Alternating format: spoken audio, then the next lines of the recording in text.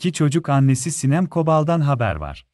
35 yaşındaki oyuncu, 2016 yılında meslektaşı Kenan İmirzalıoğlu ile dünya evine girmişti.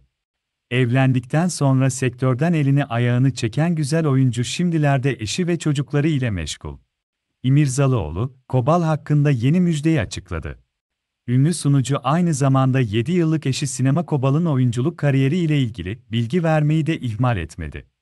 2017'den beri ekranlara veda eden Sinem Kobal hakkında ise Sinem de özledi. Canlar, ailece ekranlara yaklaşacağız yakında şeklinde konuştu.